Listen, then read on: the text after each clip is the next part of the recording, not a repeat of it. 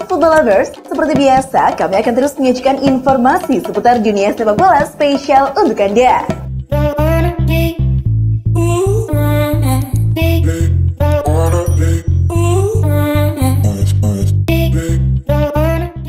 Sepak bola tanah air sempat dihebohkan dengan kabar ketertarikan klub kasta tertinggi Liga Korea Selatan Songnam FC kepada bek timnas Indonesia Pratama Arhan.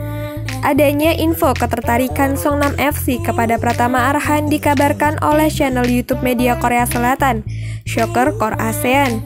Media tersebut menjelaskan kalau bek timnas Indonesia itu kemungkinan akan bermain di klub K-League 1.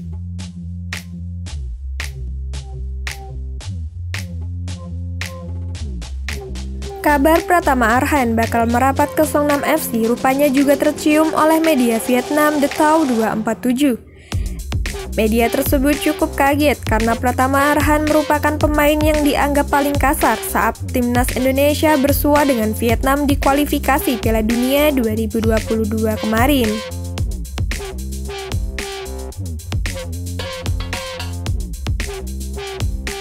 Manajemen Klub Liga 1 PSIS Semarang angkat bicara terkait rumor kalau Pratama Arhan diminati oleh klub asal Korea Selatan Songnam FC. Melalui Chef Executive Officer CEO klub Yoyok Sukawi, pihaknya akan mendukung penuh apabila Arhan memang diminati.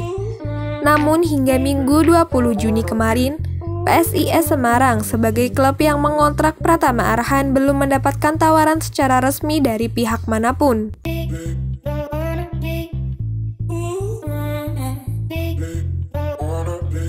Yoyok Sukawi mengatakan, tentu kita akan dukung kalau memang ada kabar luar negeri yang meminati Pratama Arhan.